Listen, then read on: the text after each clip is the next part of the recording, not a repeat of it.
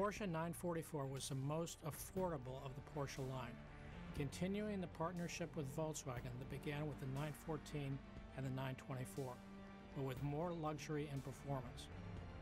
A nearly perfect 50 50 weight distribution made the car fun to drive on the road and on the track, and the new turbo motor made plenty of power.